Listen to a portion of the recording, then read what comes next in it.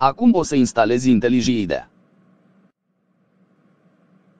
O să-l folosesc pentru Java și dezvoltare web. Înainte o să instalez Java JDK.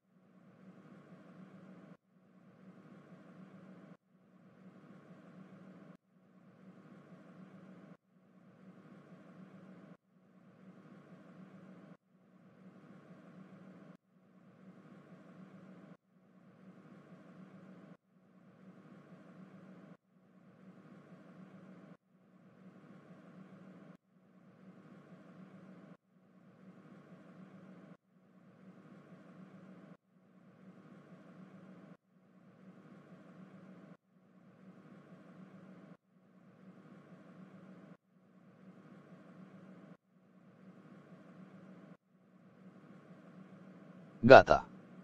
L-am instalat.